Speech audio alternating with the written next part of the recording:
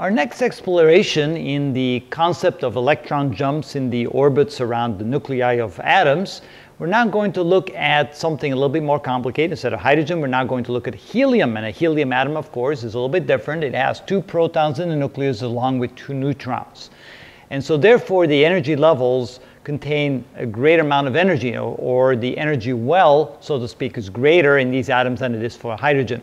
So to find the energy of the various levels, the various orbits that the electrons can be in in a helium atom, we use now this augmented equation where we added the z square there, where z represents the atomic number. So let's write that down. So z is the atomic number, and that is another way of saying the number of protons in the nucleus. So the atomic number is just simply the, the number of protons in the nucleus. For helium, the atomic number, of course, is 2. All right, so what is the energy of the first level for helium? Well, E sub n is equal to 2 squared divided by 1 squared times minus 13.6 electron volts. And so that would be 52, that would be minus 54.4 electron volts. So when an electron resides in the innermost orbit of a helium atom and you want to completely set that electron free, you need 54.4 electron volts as opposed to only 13.6 electron volts for hydrogen.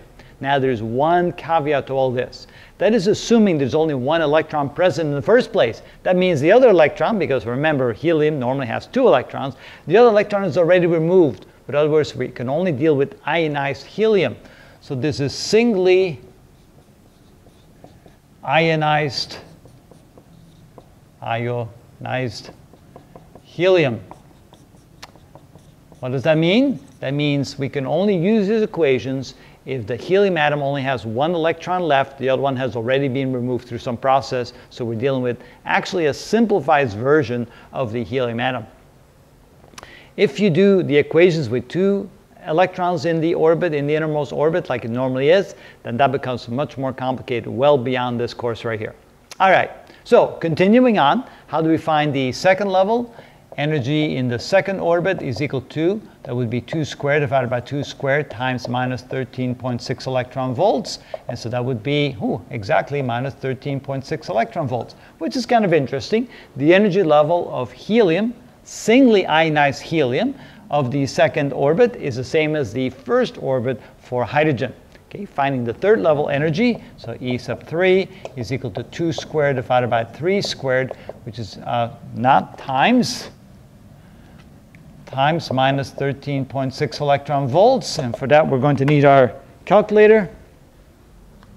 So we take 54.4 uh, divided by 9 equals, and that would be minus 6.04 electron volts.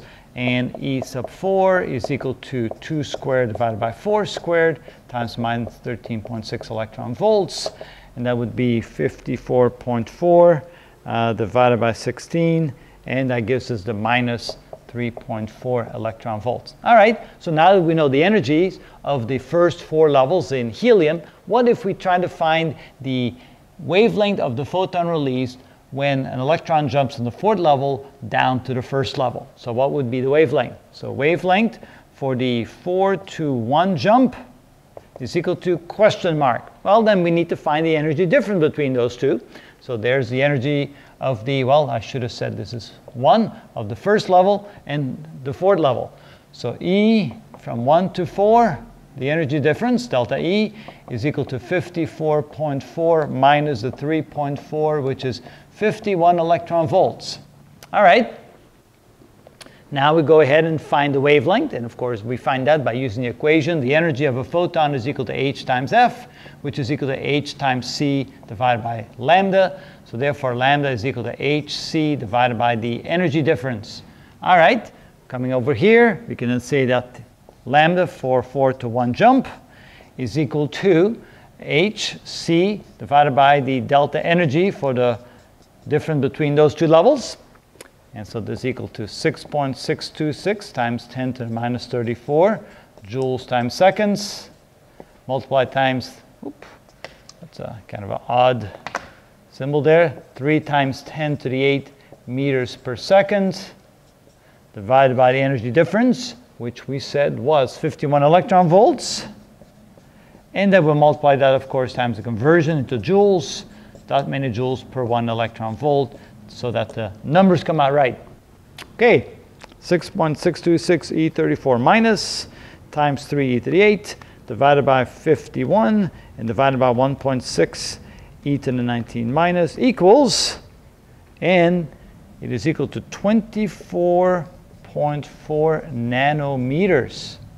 All right, that's a pretty short wavelength. That is pretty high energy ultraviolet radiation. And so if a electron jumps from the fourth level down to the first level, it will emit a photon of this wavelength. Likewise, if an electron resides in the first energy level, uh, what photon is required to make a jump to the fourth level? It requires a photon of this exact wavelength, of that exact energy, in order to make that jump possible. And that's how you deal with quantum jumps or electron jumps in the helium atom.